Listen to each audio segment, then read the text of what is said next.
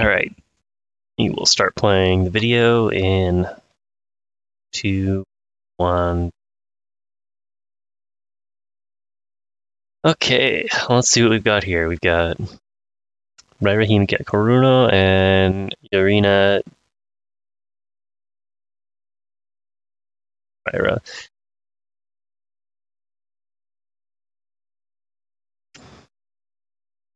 Yeah, Ryan Jr. not keen on the mirror match. Can't say I fault that.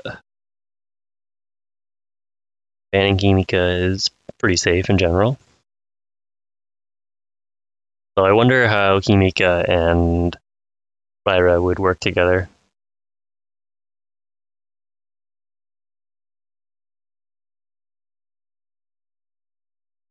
guess you just play a bunch of Himika cards and then kill your opponent off with uh, Thundercall.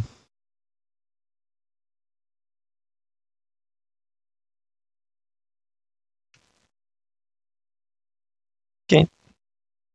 Pretty Yukihi heavy deck from generic and kind of mixed from Ryan Jr.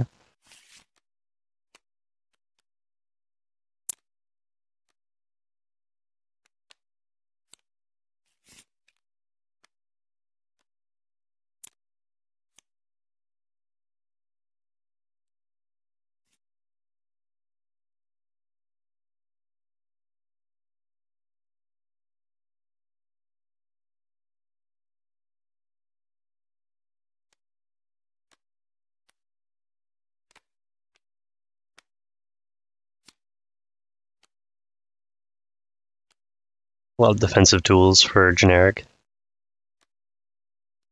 Footing or Manami. I don't know about taking Swaying Flame over Tsukikage Crush.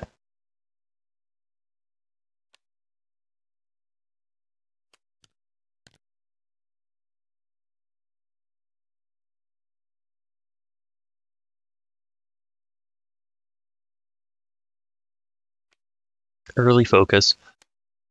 Um, yeah, theoretically he should outrange his opponent, so I think that's par for the course. This is how you get punished, though.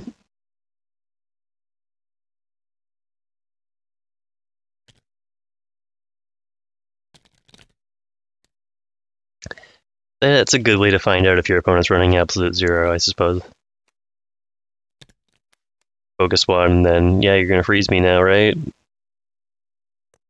And it's not the worst time to be frozen. It does set your economy back, though. Basically, it means you end up losing out on some flair over your opponent as they have more time to just focus and advance.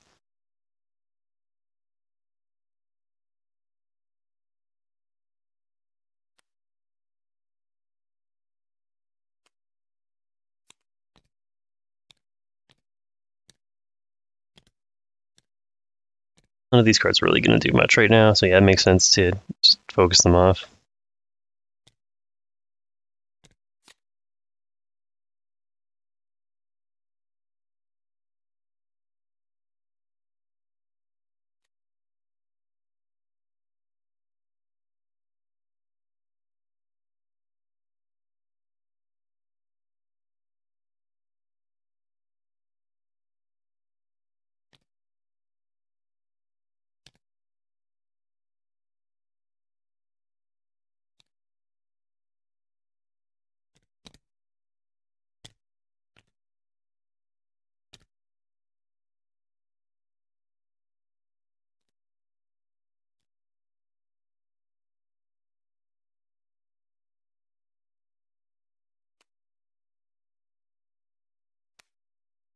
Uh, moving forward, build your vigor.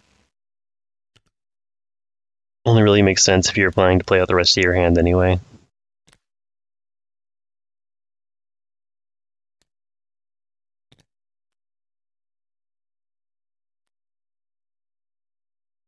Okay, unlocks himself with Frostbite.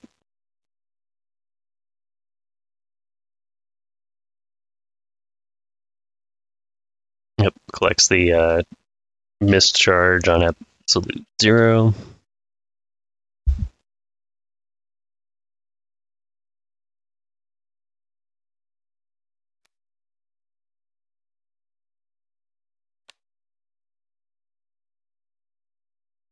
Uh, Cyclone Blade's a safe discard. Yeah, I agree with that.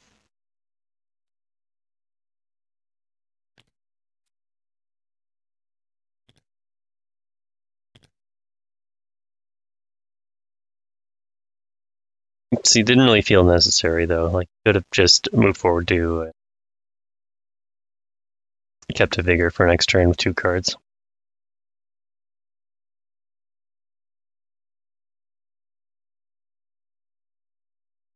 There probably isn't a punish for it here.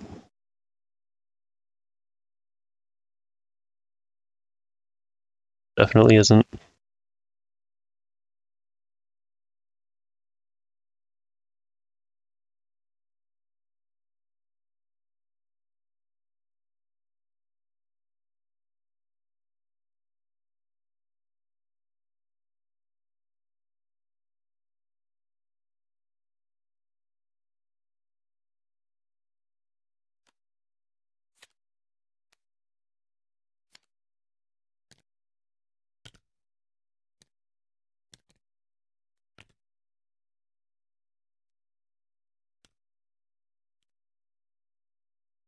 Okay, generic moves to range 6, filling aura.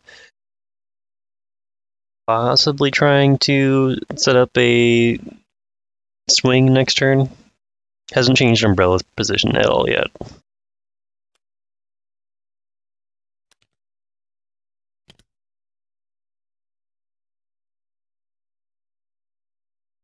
There you go, Ryan Jr. His umbrella is closed.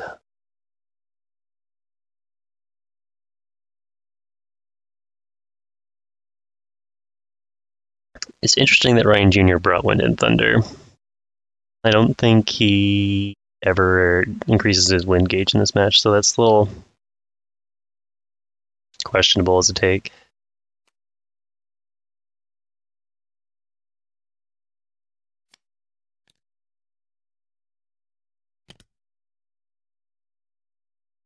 Usually, if you bring Wind and Thunder, you're going for a Storm Charged Claw build, or you're going for some kind of hybrid Wind build.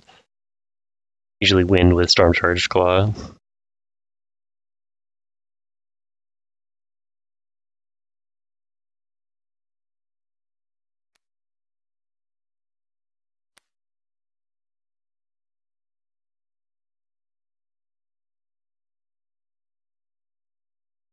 All right.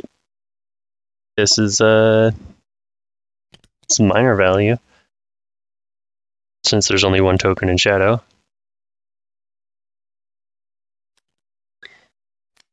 Uh, okay, Ryan Jr. doing strange plays here.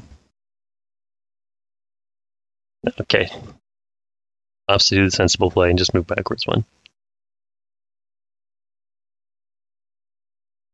So he could theoretically have maintained the same distance and just increased gauge.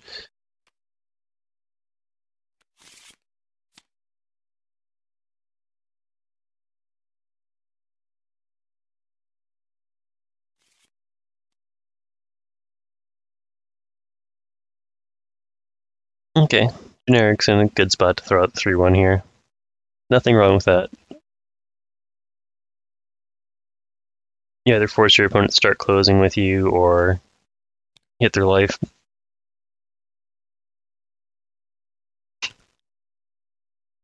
Either way, it's pretty good.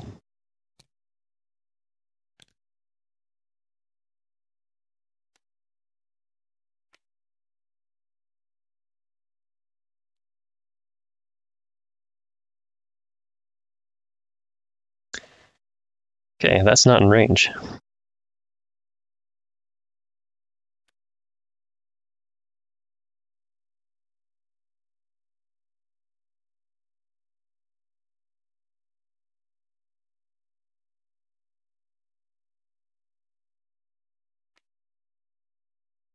what do I do now?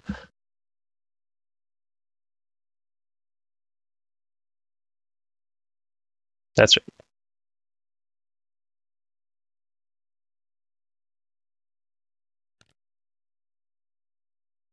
And Ryan Jr. should take this to life. Yep. Okay.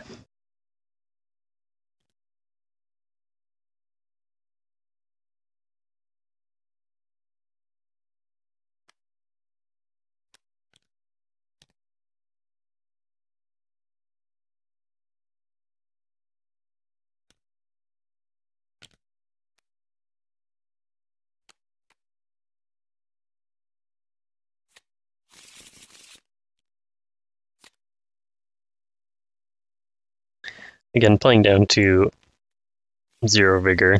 I don't think that was necessary, but that works out if he's planning on playing his throughout a card next turn. So makes sense in that sense.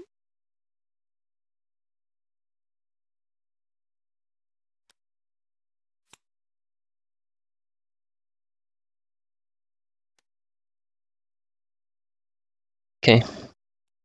Generic tries to use the Yuki dodge, but fortunately there's no shadow for him to put into distance here, so it just has no effect.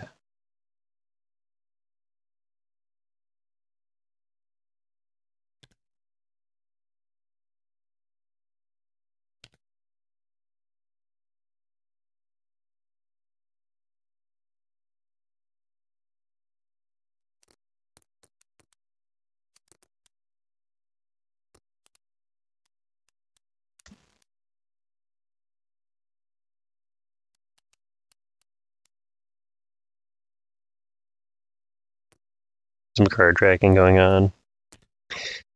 Getting charge off of Plastum is uh, pretty cool. Pretty cool idea. It'll probably be really easy to get a lot of uh, charge out of that card, depending on how generic plays around it.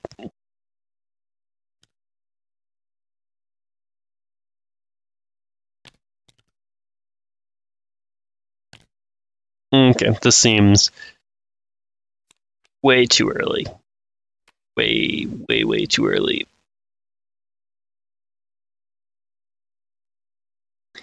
Get absolutely no value out of it right now. Can't move backwards from it. I mean, I guess he doesn't want to. You're not getting any freeze on your opponent.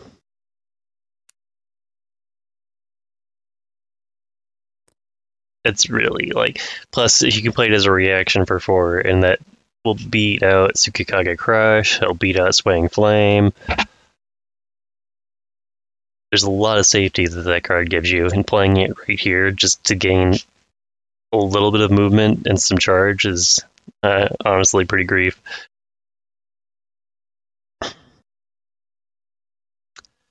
All right, so we get one one.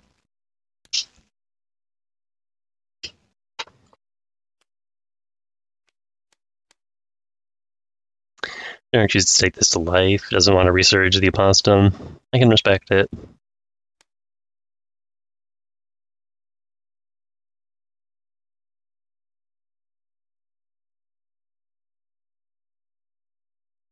Two two. You play the reaction to this. The reaction that Ryan Jr. knows you have.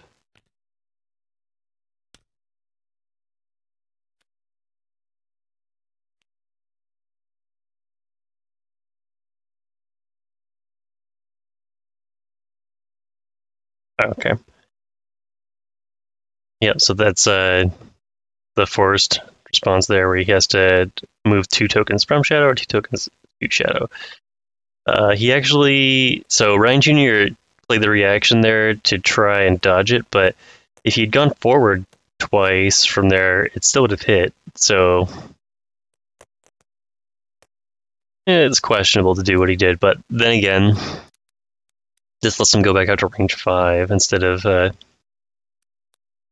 being stuck at range 2, which is where he would have been if he hadn't made that choice.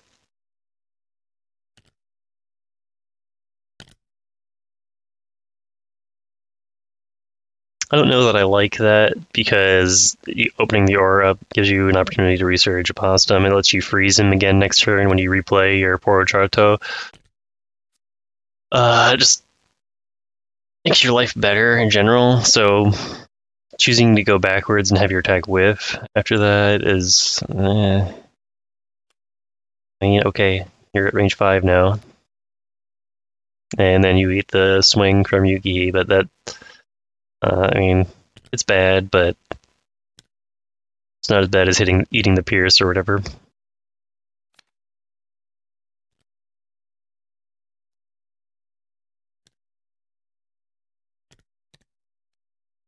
Range 7 without aura. It's not terrible, assuming your opponent has no way to unlock themselves. Generic CAD bind or something like that. Or uh, Awe, I think it is. No, that's not quite right. whatever the the Yurina enhancement, he could use that to break his aura, move up, and smack you about some one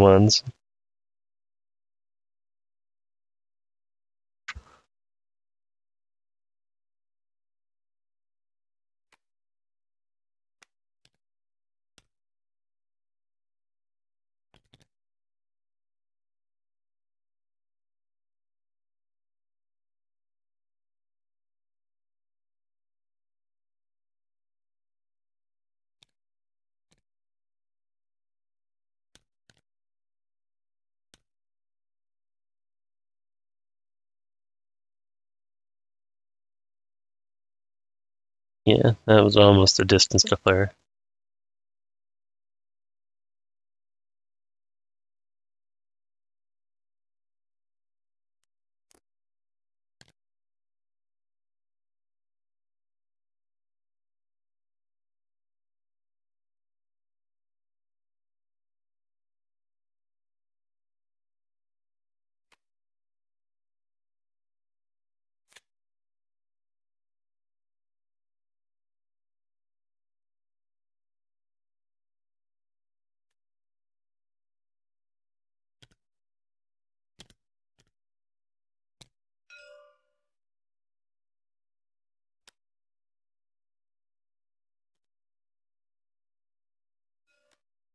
Okay, chooses to research past him.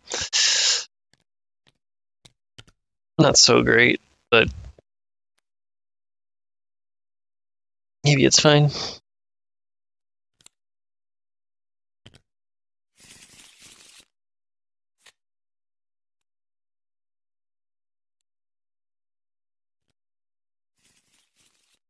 Engineer opts to reshuffle rather than taking the one aura damage to draw absolute zero by itself. Draws a zero two and a two two.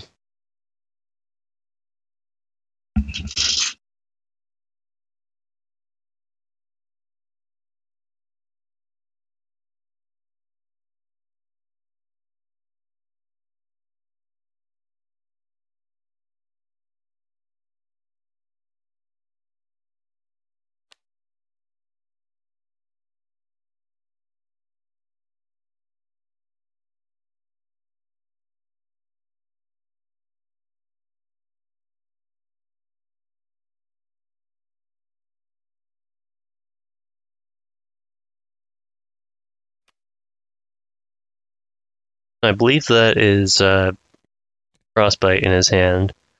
So theoretically, he can move forward two spaces, throw out the cyclone blade, and then make his opponent's life kind of miserable with uh, all the freeze tokens. Opting to move backwards instead.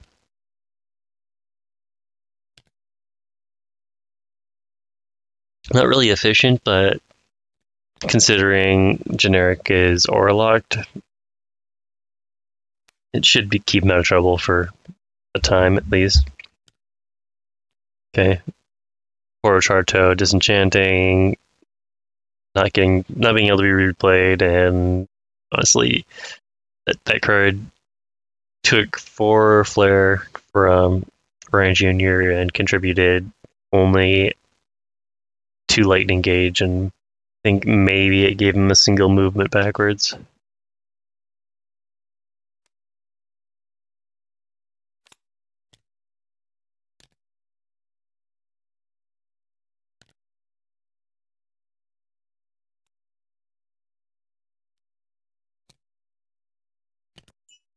Okay, generic opts not to swing at his opponent again.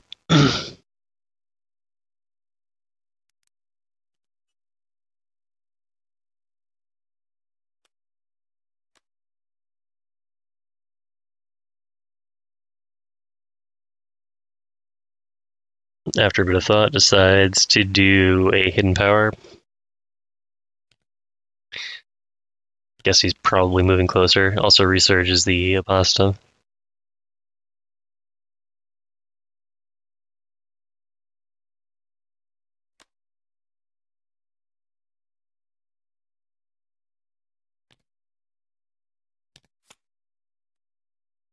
My engineer opting to take the one one to life. That's pretty. That that feels really bad.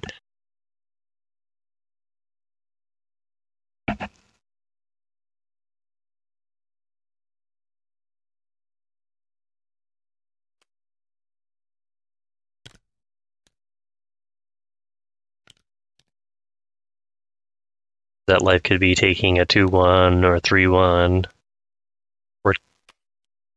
probably not. Not two two is just as bad. Like, what other type of attack should I be thinking of here?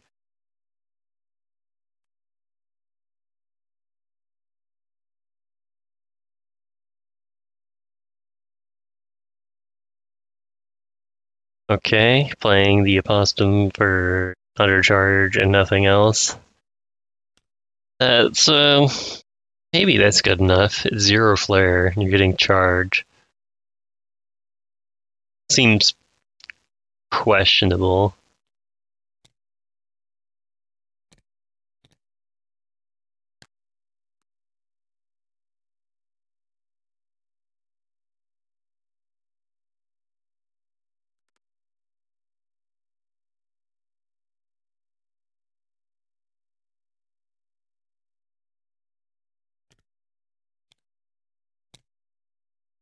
After, after some long consideration, Generic decides to draw his last card and take over damage. It's in the 3 1. Well, the 1 2, I guess, at this range is current Umbrella state.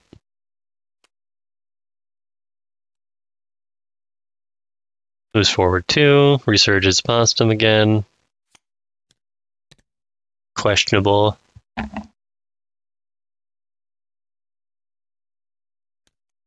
Then moves forward a third time. With the A reaction while aura locked.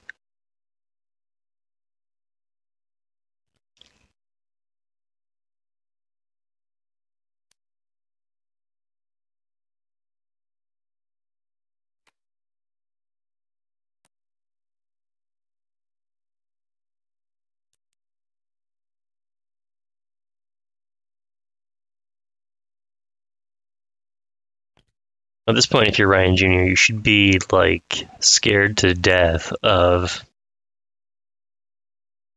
Tsukikage Crush. Like, it'll just kill you if you, especially if you can connect with Brandish or something to life before that.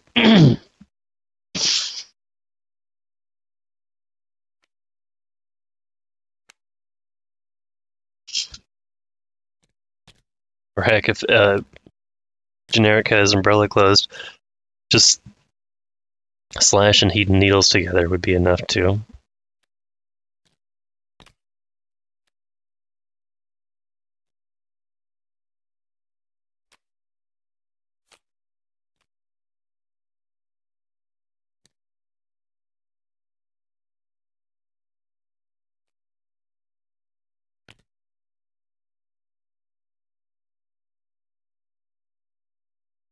Okay, playing Absolute Zero out just for the recover action, it looks like.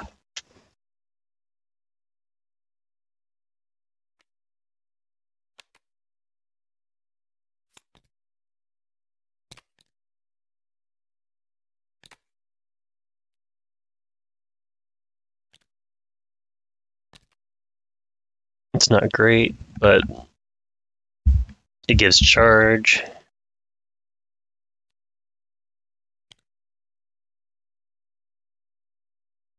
And burns his own aura down at range 3 to play Frostbite. That just seems reckless. Very reckless. Okay, then spends his last figure doing nothing, which is very strange.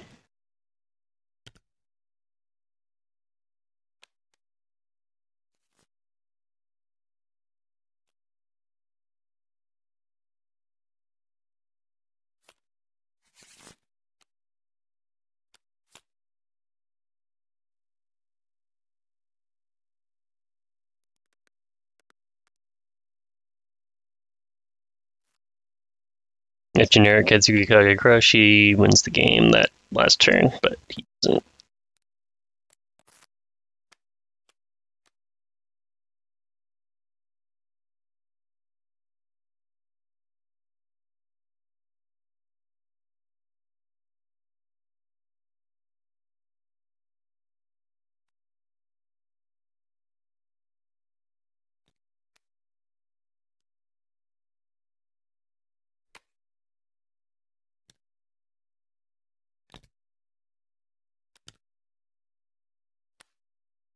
Okay, back to range 5. Game is surprisingly even right now.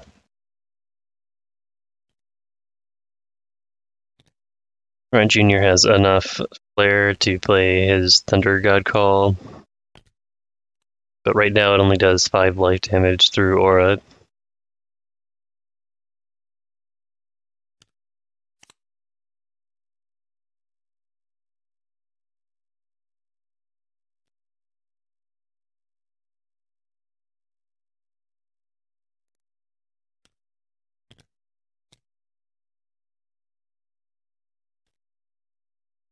Every point of aura is a point of life for generic right now. And you should be very aware of that because with this much thunder gauge and no wind gauge, it's pretty obvious what your opponent's doing.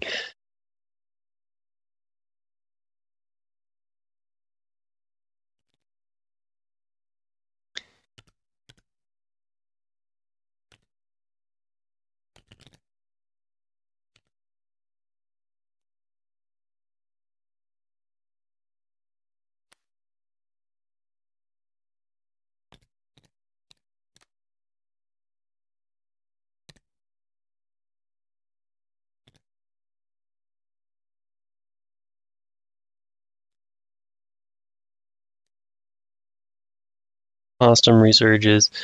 Generic's only two charged away from being able to lethal here.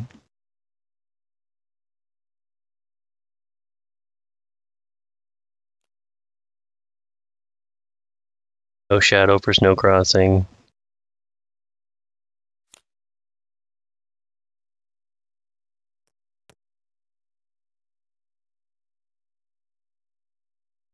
Postum for charge.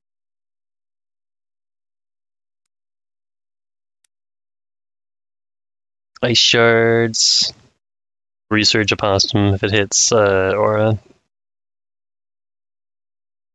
Either way for generic, he's dead next turn, or on Ryan Jr.'s next turn. If he. No, it doesn't matter what he does. The charge from that would have been enough anyway. Yeah, he may as well take it Aura.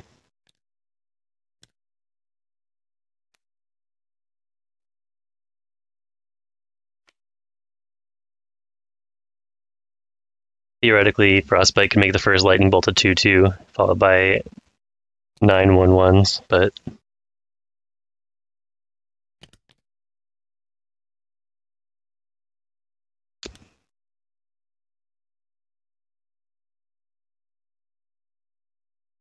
there's just not enough Sakura tokens that exist for uh, Ryan Jr. to be able to move back.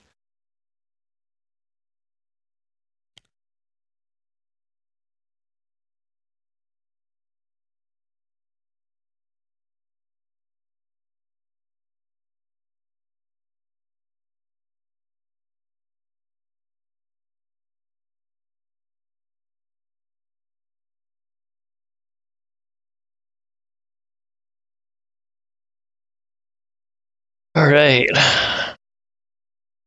This should do it. We have four cards, one vigor. One of the cards is the necessary lethal component chain reel.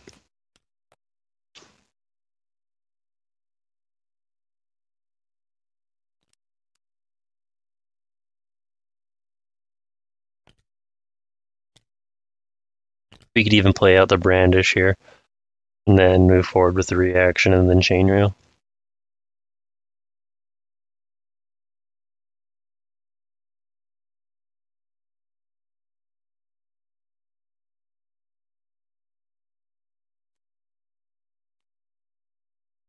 For some reason, he decides to open Ukefune. Um, I guess it makes Shadow. I have no idea what the consideration there is.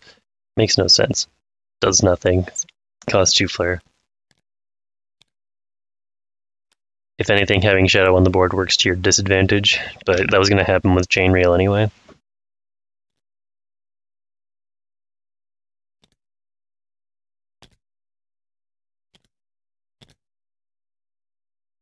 And then the Swing Flame. For 5 life damage. Unless generic didn't bring Thunder Call, and this is a long running bluff, and he has the Korunu reaction that cancels an attack if you have Floral Aura. Nope, he didn't. Okay. GG.